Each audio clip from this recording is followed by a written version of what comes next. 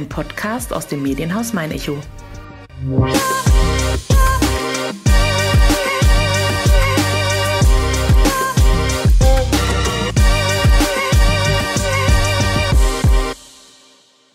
Eine Mona Lisa für Aschaffenburg. Ob Christian Schards Porträt einer Mexikanerin aus dem Jahr 1930 diesem Anspruch gerecht werden kann, wird sich erst noch zeigen. Dass die Aschaffenburger Museumslandschaft jedoch um ein Pfund reicher ist, ist bereits seit dem 3. Juni klar.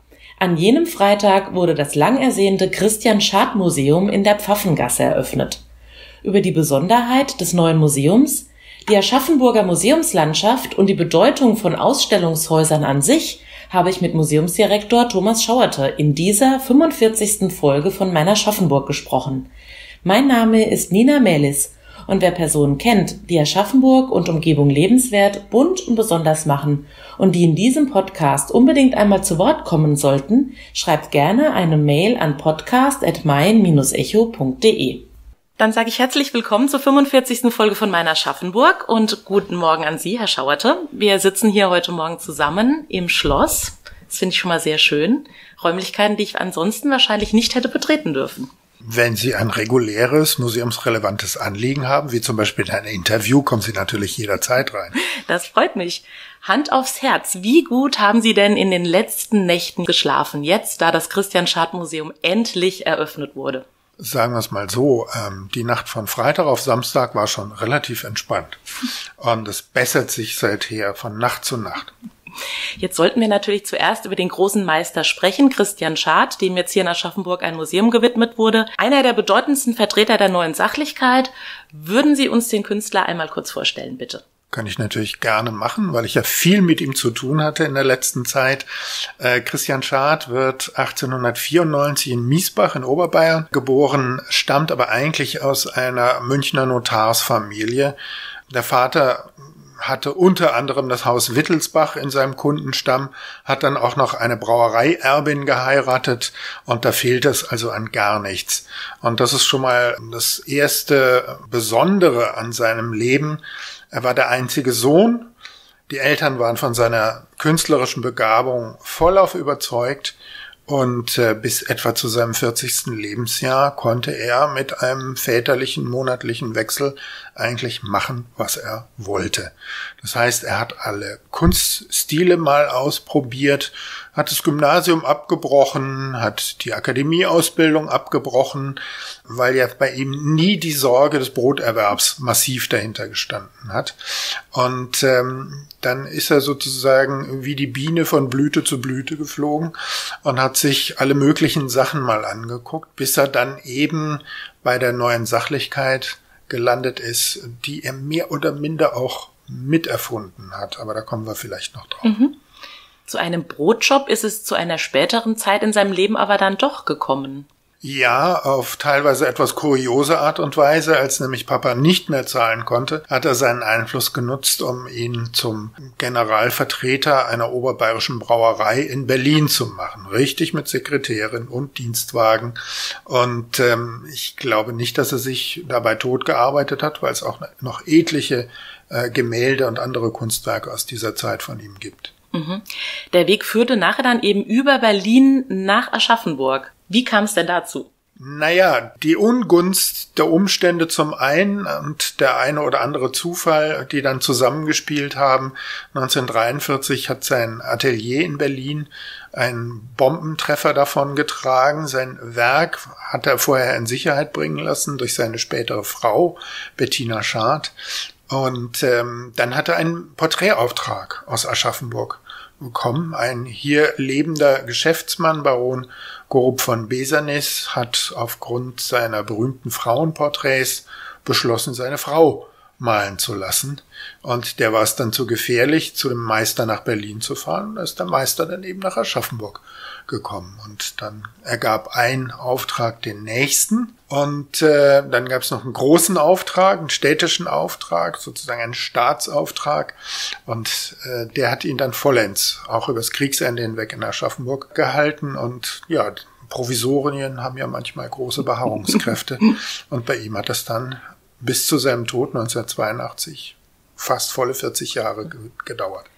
Müssen wir vielleicht befürchten, wenn es diesen einen Auftrag nicht gegeben hätte, dass wir jetzt nicht in den Genuss eines Museums kommen würden? Ich fürchte, dieser Tatsache müssen wir ins Auge sehen. Aber es ist ja Gott sei Dank anders gekommen. Wie stark ist denn die Verbundenheit Christian Schatz zu Aschaffenburg und Umgebung? Gelebt hat er ja dann in Keilberg. War die Verbundenheit oder die Liebe zur Stadt ausgeprägt? Das ist so genau nicht quantifizierbar. Also fest steht, dass er am öffentlichen Leben der Stadt teilgenommen hat. Andererseits war aber auch ein sehr zurückgezogener, vielleicht auch etwas hochmütiger Mensch, der sich dann auch gerne zurückgenommen hat. Also das hält sich bei ihm die Waage. Er hat später von der Stadt noch einen Auftrag bekommen, nämlich für ein repräsentatives Brentano-Porträt, das auch in der damals neuen Brentano-Schule äh, aufgehangen worden ist. Und ähm, er hat nach dem Krieg mit allem möglichen Geld verdient, was ihn natürlich mit verschiedenen Kreisen der Stadt in Verbindung gebracht hat. Also er hat wirklich an der Volkshochschule Kurse in Yoga, Französisch und Atemtechnik und was es da so alles gibt. Aber nicht in Kunst. Äh, nicht in Kunst, interessanterweise. Nein, er hat keine Schüler hier in Aschaffenburg gehabt, die er dann vielleicht so ein bisschen rangebildet hätte. Also er ist da schon Einzelgänger geblieben. Er war natürlich immer, ich sag mal, mit der Haute Volée der Stadt verbunden, weil aus der Ecke kamen natürlich die Porträtaufträge. Genau, die Aufträge. Was ist denn das Besondere am jetzigen Schadmuseum?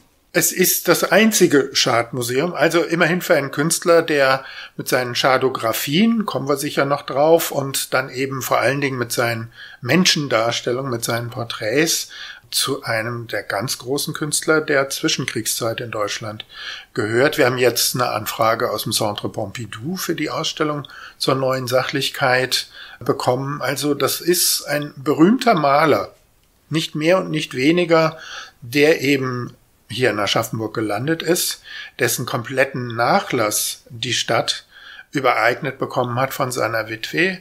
Und sie ist jetzt, wenn auch mit ein paar Verzögerungen, dieser Verpflichtung nachgekommen, ein, ich sag mal, monographisches Schadmuseum zu errichten, das sich also nur mit seinem Werk und seinem Leben befasst und das ist neu und das ist auch weltweit einzigartig. Und alle Schaffensphasen abbildet. Ganz genau. Also es sind jetzt nicht die großen Inkunabeln aus der Zwischenkriegszeit, einige haben wir, aber äh, es geht wirklich mit ganz frühen Werken von ihm noch vor dem Ersten Weltkrieg los und endet dann natürlich ja fast mit seinem Todesjahr. Wie viele Werke umfasst der Nachlass an sich? Äh, um die 3200. Und in welchen Genuss kommen wir im Museum? Wie viele Werke kann man sehen?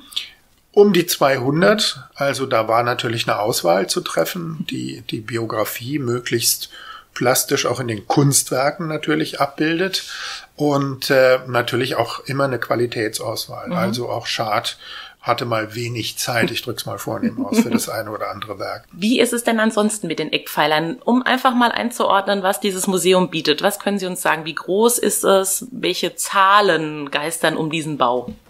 Bauzeit sieben Jahre, Kosten etwa sechseinhalb Millionen, von denen ungefähr die Hälfte Förderzuschüsse waren. Bezirk, Freistaat, Bundesrepublik. Und ähm, das Ganze findet statt auf 450 Quadratmetern in einem dafür umgebauten Trakt des historischen Jesuitenkollegs hier mitten in Aschaffenburg. Sind Werke dabei, die erstmalig gezeigt werden? Ganz viele sogar. Ganz viele sogar. Also gerade was die Zeichnungen anbelangt. Es gab große Retrospektiven in äh, noch zu seinen Lebzeiten. Die größte war wohl die in der Berliner Kunsthalle 1980 für ihn die Krönung seines Lebens, weil er da endlich die Anerkennung bekommen hat, die er für sich immer in Anspruch genommen hat. Und ähm, großen Ausstellungen, also auch in den Retrospektiven, die es zu seinen Lebzeiten noch gab, wurde vieles gezeigt, aber gerade aus seinem Nachlass sind eben Stücke dabei, die noch nie zu sehen waren viele Zeichnungen auch. Und ähm, ich würde mal sagen, zwei Drittel äh, der Objekte, die Sie jetzt im Schadmuseum sehen können, waren noch nie irgendwo ausgestellt. Nicht zum ersten Mal gezeigt wird bestimmt die Mexikanerin. Ich würde behaupten, das bekannteste Werk oder widersprechen Sie mir da? Nein, natürlich nicht, weil Ihnen das im Augenblick von jedem Plakat entgegenstarrt und ja nicht nur in Aschaffenburg, sondern auch in den größeren Städten der Umgebung, also Frankfurt und dann bis nach Nürnberg. Und äh, das ist unser Gesicht im wörtlichen wie im übertragenen Sinn, weil es einfach für diese neue Sachlichkeit in dieser absoluten Frontalität der Darstellung, in der Symmetrie des Bildaufbaus, aber natürlich auch in der völligen Unbewegtheit von Gestik und Mimik, in der Materialästhetik der Stoffe und Gewänder und der Hautpartien ist das einfach exemplarisch für die neue Sachlichkeit. Und Christian Schad, sage ich immer, ist eigentlich der sachlichste von den neuen Sachlichen. Sie hatten vorhin schon die Shadowgraphien angesprochen. Das ist eben ein Teil, der zu sehen ist. Sagen Sie uns einfach da noch ein bisschen was dazu, was eben in welchem Verhältnis wie ausgestellt ist. Die Shadographie ist etwas, das aus der Dada-Bewegung in der Schweiz 1919-20 rum war da die Hochphase herrührt. Und Schad leistet einen ganz bedeutenden Beitrag dazu. Es geht generell A um Abstraktion und B um die Adaption der Fototechnik für eine neue Kunstform. Technisch heißt das, dass er hochlichtempfindliches Papier genommen hat und auf diesem Papier Gegenstände, Zufallsgegenstände, Alltagsgegenstände arrangiert hat, die unterschiedlichen Belichtungen ausgesetzt hat und halb nach dem Zufallsprinzip dann daraus Bilder komponiert hat. Diese Bilder waren meistens abstrakt, und das heißt also, da hat er sich dann eben auch mit der Abstraktion äh, beschäftigt und sie waren eben von vornherein sinnfrei, was eben ja für die Dada-Kunstbewegung so charakteristisch ist. Es gab die Idee eines Shadomats im Museum. Wurde die denn umgesetzt? Ähm, die wurde umgesetzt. Es gibt aber noch ein paar kleine technische Probleme und ähm, wir haben jetzt natürlich den Schwerpunkt darauf gesetzt, das Museum als solches rechtzeitig zum Laufen zu bringen. Kleinere Nacharbeiten sind da immer unausweichlich. Dazu gehört auch der Schadomat, aber er ist so gut wie fertig und dann gibt's ihn auch bald. Das heißt, für denjenigen, dem das Thema Schadografie gerade vielleicht etwas zu abstrakt war, darf sich an diesem Schadomat, das ist nämlich Sinn der Sache, nachher selbst probieren. Ganz genau so ist es. Und diese Mitmachkomponenten sind natürlich auch ein bisschen Stand der aktuellen Museologie. Was gibt's denn neben den Shadowgraphien zu sehen? Gemälde natürlich vor allen Dingen, die auch wirklich aus einem, ich sag mal, etwas gedämpften Farbfond herausleuchten. Viel Grafik, das heißt also auch Zeichnung und gerade hier eben Dinge, die bis jetzt noch nicht zu sehen waren.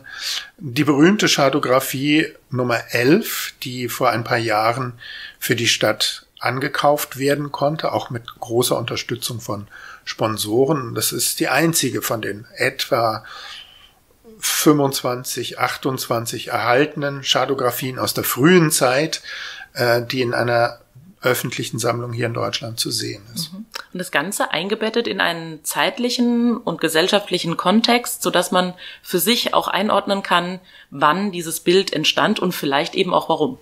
Richtig.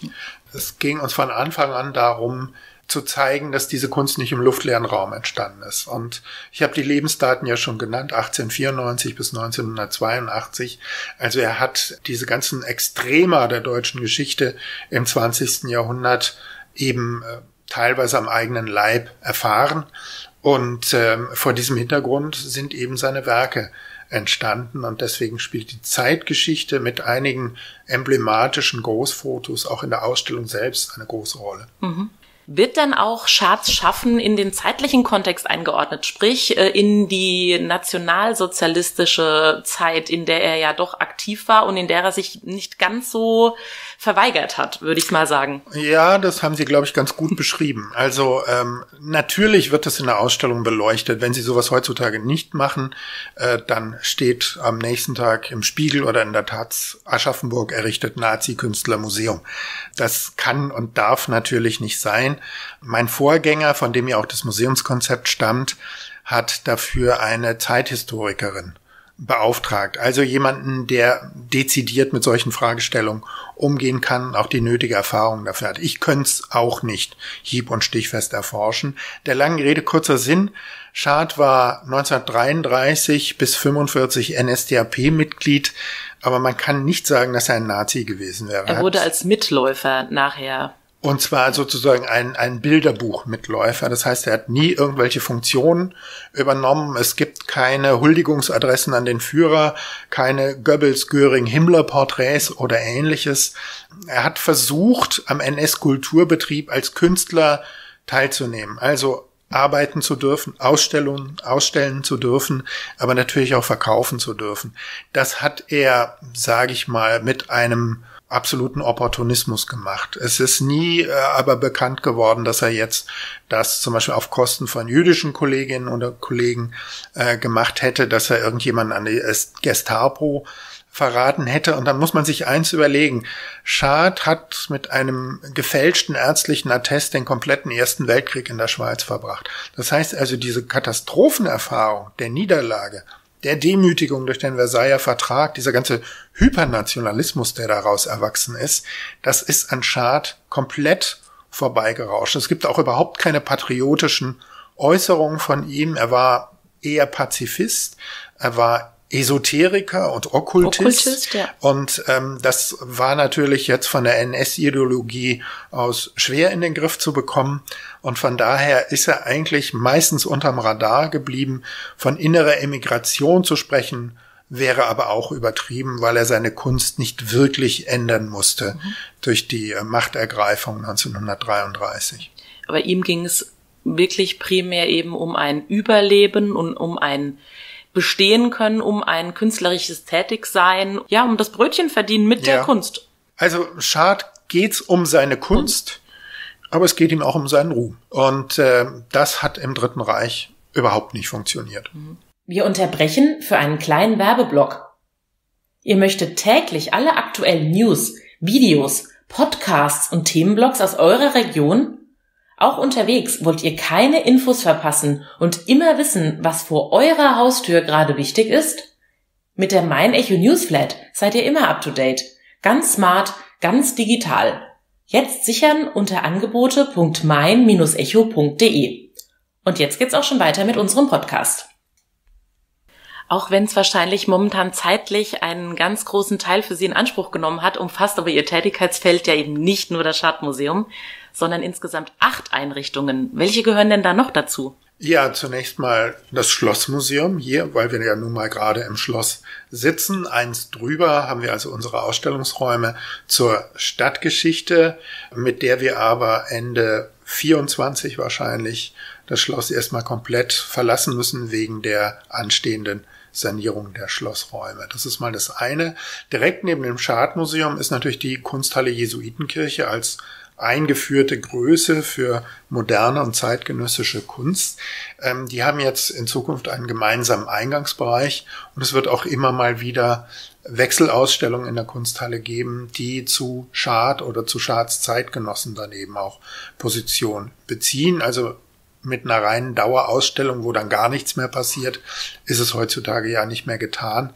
Und da haben wir dann immer mal die Möglichkeit, das Thema anders zu beleuchten und dann immer wieder auch ein bisschen neu zu beleben. Ganz glücklich sind wir über die Tatsache, dass wir jetzt noch einen kleinen Ableger, Schadableger in der Stiftskirche haben. Also sein, ja, in Aschaffenburg darf man vielleicht sagen, bedeutendstes Werk ist eben die Kopie der Stuppacher Madonna. Das war der Gemäldeauftrag äh, der Schad 1943 hier ereilt hat vom damaligen NS-Oberbürgermeister und ähm, die Stuppacher Madonna wäre von rechts wegen eigentlich die Aschaffenburger Madonna von Grünewald und die ist der Stadt in der Säkularisation um 1800 eben leider abhanden gekommen. Das erzeugt einen gewissen Phantomschmerz und dem hat man also mit der Schad-Kopie dann Abhilfe schaffen wollen. Sprich, die Stuppacher Madonna in der Kopie Scharz hängt als Original eben in der Maria Schneekapelle in der Stiftskirche, die jetzt seit äh, Eröffnung des Museums auch dauerhaft zugänglich ist. Und direkt daneben liegt unser Stiftsmuseum, wo es vor allen Dingen um klassische und sehr viel religiöse Kunst geht, mit einer ganz großen Prachtentfaltung, die damit immer einhergegangen ist, in einem historischen wunderschönen Gebäude direkt neben der Stiftskirche. Ja, und natürlich hoffen wir dann, dass über diesen Link Christian Schad, Stiftskirche, Stiftsmuseum dann auch äh, ein Impuls für unser Stiftsmuseum gewonnen werden kann. Das ist ja auch ein bisschen das, worum es hier eigentlich geht. Nicht? Also wir haben jetzt wirklich einen, einen musealen Leuchtturm hier in der Region und das machen wir ja nicht zum Selbstzweck, sondern natürlich sollen das, soll das Touristen in die Stadt bringen. Die sollen hier essen und trinken und einkaufen und vor allen Dingen auch übernachten. Wohnen, ja. Weil mit acht Museen kommt man dann an einem Tag nicht schon durch. nicht mehr ganz durch. Wobei wir mit unserer Museumsmeile, mit unserer kleinen, jetzt zumindest was das örtliche anbelangt, doch ganz gut unterwegs sind. Definitiv. Und das Schadmuseum ist natürlich eine Perle, um mal mit den Museen weiterzumachen. Nicht weiter von im Schönborner Hof ist das Naturwissenschaftliche Museum mit bedeutenden äh, Beständen, die noch aus der alten Forsthochschule äh, vom Beginn des 19. Jahrhunderts herrühren. Dann haben wir das Gentilhaus oder Schantelhaus, wie man hier sagt, ähm, das nur mit Führung zugänglich ist, das aber etwas ganz Besonderes ist, weil es wirklich ein verwunschenes, verwinkeltes Künstlerhaus in einer Aschaffenburger Villengegend ist. Und ähm, das muss man einfach gesehen haben. Das kann man gar nicht so richtig schildern. Also das ist ein bisschen, wie sagt man auf Neudeutsch, spooky. Und das ist tatsächlich aber das Einzige, für das man zumindest ein paar Minuten Laufzeit sich nehmen muss. Alle anderen sind ja hier doch sehr fokussiert. Richtig. Ja. Aber da kann man natürlich dann auch einen wunderschönen Gang durchs Schöntal machen und dann stößt man da auf die Ruine der Beginnenkirche. Eine sehr romantische Situation. Ähm, die werden wir im Zuge einer Kranach-Ausstellung, die jetzt für den Herbst, 15. Oktober dieses Jahres geplant ist, auch ich sag mal ein bisschen museal ertüchtigen und ein bisschen auch historisch stärker beleuchten, weil sie eben auf Kardinal Albrecht von Brandenburg den großen Gegenspieler Martin Luthers, der ja eng mit der Stadtgeschichte verbunden ist, im Zusammenhang steht. Mhm. Gibt es eine Einrichtung, die Ihnen besonders am Herzen liegt oder auf die sich jetzt Ihr Fokus richten wird, jetzt da das Schadmuseum eröffnet wurde? Ja, definitiv.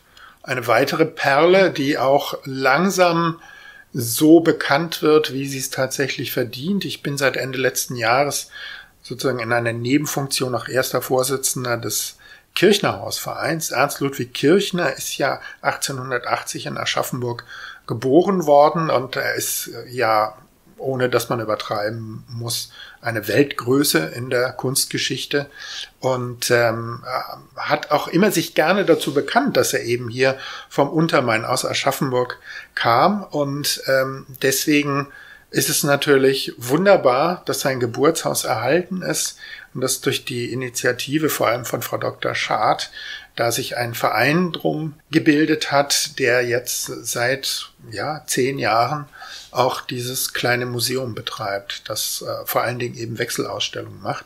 Und ähm, natürlich ist das eine ehrenamtliche Geschichte, aber die Sache ist jetzt so groß geworden, weil Kirchner ist nun mal Kirchner, dass die Stadt jetzt da auch ein bisschen in die Pflicht treten muss um dieses Museum jetzt mit zu betreiben und mittelfristig dann auch eben in die Regie der städtischen Museen zu übernehmen. Und mhm. das ist natürlich etwas, also mit Schad und Kranach und äh, Ernst Ludwig Kirchner ist Aschaffenburg also ungewöhnlich gesegnet mit Berühmtheiten. Ist denn da Nachwuchs in Sicht? Wie aktiv ist denn die Aschaffenburger Künstlerszene, die jetzt momentan herrscht? Also wenn ich jetzt schon beurteilen könnte, wer mal ein großes Genie wird, würden Sie investieren? Dann würde ich mich zurückziehen und nur noch investieren und dann wäre es das gewesen, dann wäre ich Privatier. Leider habe ich diese Sachkenntnis nicht. Also ich bin auch äh, sozusagen eher in der klassischen Kunstgeschichte zu Hause. Das endet dann so eher im 19. Jahrhundert. Von daher, wenn ich das wüsste, dann würde ich jetzt nur noch in Kunst investieren. Und ähm, es gibt in Aschaffenburg aber eine sehr lebendige aktuelle Kunstszene. Und äh, wir haben ja jetzt erstmals auch, und da wird es wieder eine Medienpartnerschaft mit Mein Echo geben, wir haben ja erstmals jetzt auch einen Aschaffenburger Kunstpreis für 5000 Euro, im Wert von 5000 Euro ins Leben gerufen. Und der wird nächstes Jahr verbunden mit einer Ausstellung in der Kunsthalle Jesuitenkirche erstmals vergeben werden. Und da können wir uns dann die Genies von morgen bequem raussuchen. Ja, bis Ende Juni darf man sich, glaube ich, bewerben. Ja, richtig. Über den Kunstpreis wollte ich unbedingt gesprochen haben. Wer soll sich denn da angesprochen fühlen? Alle Künstlerinnen und Künstler, die sich der Stadt verbunden fühlen, das auch in ihrem Werk oder in ihrer Biografie, ich sag mal, hinreichend nachweisen können. Und da geht es natürlich dann manchmal auch darum, ähm, also gehört da Miltenberg jetzt noch dazu? Das wird man dann sehen. Wir müssen uns erstmal einen Gesamtüberblick über die eingegangenen Bewerbungen äh, verschaffen. Es wird natürlich eine unabhängige Jury geben, wo wir auch vor allen Dingen auch Leute von auswärts äh, dazu bitten werden. Und dann werden wir sehen, wer oder welche Künstlerin, welcher Künstler ähm, den Preis davontragen mhm. wird. Und das wird natürlich da auch in der Kunsthalle, also in einem sehr würdigen Ambiente, geziemend gewürdigt ja. werden. Ab wann sind die Werke dann zu sehen? Nächstes Jahr? Die Ausstellung wird nächstes Jahr laufen vom 18. März bis zum 16. April 2023. Mhm. Wir gerade noch mal eben über die Kunsthalle auch sprechen, um oder über ein Museum oder Museen. Welche Rolle spielen denn für Sie heutzutage noch Museen? Welche Rolle hat eben ein Museum heutzutage in Ihren Augen überhaupt noch? Naja, es führt uns das vor Augen, was früher mal war. Es führt uns die Basis dessen vor Augen, worauf wir im wörtlichen wie im übertragenen Sinne stehen und es ist ein großes Wort, das auch schon von berufeneren Menschen ausgesprochen wurden, aber nur wer die Vergangenheit versteht, kommt mit der Gegenwart zurecht und kann vielleicht sogar ein bisschen in die Zukunft schauen. Das ist das eine. Äh, auf der anderen Seite haben wir vor allem durch das äh, Vereinigte Europa natürlich ein Nachlassen der nationalen Identität. Das heißt also, die Nation wird eigentlich immer mehr die übergreifende Verwaltungseinheit und die regionale Identität spielt eine immer größere Rolle. Ähm, dass diese Identität wichtig ist, sehen wir ex negativo natürlich gerade im Ukraine-Krieg, wo es gezielt um Kulturzerstörung geht, weil Russland ein eigenes, in meinen Augen sehr abstruses Narrativ etablieren will. Und dafür muss das andere Narrativ, nämlich das ukrainisch-nationale Narrativ, beseitigt werden. Mhm. Und da kommt es eben massiv zu Kulturzerstörung. Und wir selbst als Museen haben auch äh, Verpackungsmaterial im Wert von 10.000 Euro gespendet und kaufen das jetzt so nach und nach äh, wieder zurück ähm, weil wir es ja nicht ganz so dringend nun mal brauchen. Ähm, aber das ist natürlich auch der kleine Versuch, da ein bisschen Solidarität zu zeigen. Es zeigt aber eben, dass Kultur Identität schafft. Mhm. Und wir sind die Orte, wo die Originale sind, wir Museen. Und nur das Original entfaltet seine Aura und da können Sie noch so viel Medienbrimborium drumrum zaubern. Das ist nicht so einfach ersetzbar. Und deswegen sind wir mehr denn je unverzichtbar. Welche Rolle spielen Veranstaltungen wie jetzt eben zum Beispiel der Schaffenburger Kulturtage mit der Museumsnacht, um einfach Leuten Museen oder eben Kunst näher zu bringen? Als wie wichtig erachten Sie solche Veranstaltungen? Ähm, das sind natürlich große Durchlaufveranstaltungen, freier Eintritt und da wird man dann vielleicht auch so ein bisschen in die Häuser reingedrückt mhm. und durchgeschleust. Und da steht natürlich die Hoffnung dahinter, dass ein bisschen was hängen bleibt und dass man sich dann sagt, oh, das möchte ich mir gerne mal ein bisschen in Ruhe anschauen. Und ähm, deswegen machen wir gerne auch immer bei diesen Großveranstaltungen mit. Jetzt natürlich auch Tag der Franken. Da hat jetzt auf unsere Anregung hin der Stadtrat freien Eintritt für unsere Häuser beschlossen. Und äh, da kommen eben Leute in die Stadt, die jetzt eigentlich eher Party machen wollen und äh, mit Museen vielleicht nicht so viel am Hut haben, wo der eine oder andere dann aber vielleicht doch auf den Geschmack kommt. Ja, oder für den einen oder anderen die Hemmschwelle sinkt, um überhaupt so ein Haus mal zu betreten. Ganz genau. Wir müssen noch in unsere kleine grüne Fragenbox greifen. Elementarer Bestandteil dieser Serie. Drei Fragen davon dürften Sie ziehen. Dann mache ich die Wunderkiste mal auf. Einmal, zweimal, dreimal. So, jetzt sind wir beide gespannt. Ja. Das ist Genuss für mich. In einem schönen alten Auto mit schöner Musik durch eine schöne Landschaft mit einem schönen Ziel zu fahren. Ach, das ist doch super. Was ich in Aschaffenburg schon immer einmal machen wollte, aber immer noch nicht geschafft habe. Ja, ich war noch nie im Hofgarten-Kabarett. Ganz schlimm. Hm.